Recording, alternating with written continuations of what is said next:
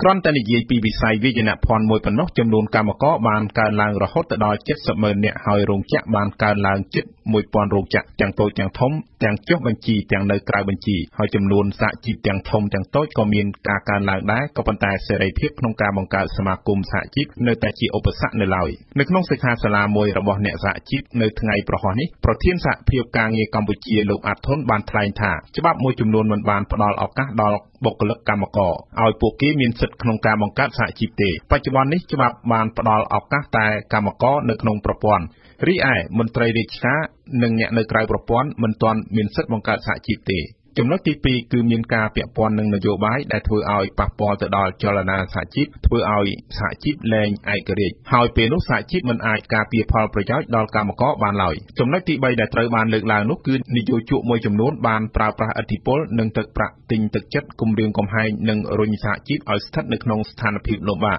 ហើយចុងក្រោយគឺដាក់សហជីពឲ្យបម្រើផលប្រយោជន៍របស់ខ្លួនដែលនេះផ្ទុយស្រឡះអំពីច្បាប់ការងារកម្ពុជា លើសពីនេះការប្រើប្រាស់កិច្ចសន្យាខ្លីក៏ជាឧបសគ្គក្នុងការប្រើប្រាស់សេរីភាពសហជីពនិងធ្វើឲ្យខាតប្រយោជន៍កម្មករផងដែរនៅក្នុងការជជែកគ្នានេះក្រុមអ្នកសហជីពបានលើកឡើងពីដំណោះស្រាយជាបណ្ដាបណ្ដាដូចជាច្បាប់ដែលនៅមានការខ្វះចន្លោះអ្នកសហជីពត្រូវជំរុញឲ្យរដ្ឋាភិបាលត្រូវតែបំពេញតួយ៉ាងដូចជាច្បាប់សហជីពជាដើមដោយសារកម្ពុជាបានចុះអនុសញ្ញាអន្តរជាតិស្ដីពីសេរីភាពក្នុងការបង្កើតសហជីពក៏ប៉ុន្តែច្បាប់ការងារកម្ពុជាបានខ្ទាស់នៅបញ្ហានេះ លោកអាត់ធុនប្រធានសហភាពការងារកម្ពុជាបានបញ្ជាក់ថា ដើម្បីឲ្យមានវិសាលភាពគ្របដណ្ដប់ទៅលើច្បាប់ការងារនិងច្បាប់ផ្សេងៗទៀតចំពោះសេរីភាពនេះនៅក្នុងច្បាប់សហជីពដែលនឹងបង្កើតឡើងនៅពេលខាងមុខនឹងមានការស្នើឲ្យមានការកែប្រែពោលគឺសូមឲ្យបុគ្គលិកកម្មករគ្រប់ផ្នែកនិងមន្ត្រីរាជការមានសិទ្ធិបង្កើតសហជីពដូចដូចគ្នាទាំងអស់ សូមរំលឹកថាកាលពីពេលថ្មីៗនេះរដ្ឋមន្ត្រីក្រសួងការងារលោកអ៊ិតសំហេងបានធ្វើការបដិញ្ញាចិត្ត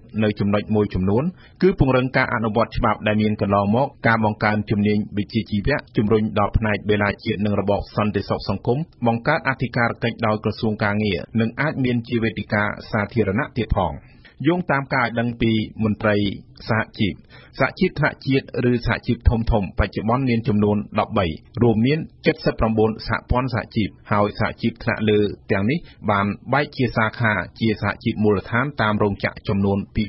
2981សហជីពមូលដ្ឋាន ដែលក្នុងនោះគេកត់សម្គាល់ថា មានតែ600ទៅ700សហជីពប៉ុណ្ណោះដែលមានសកម្មភាព។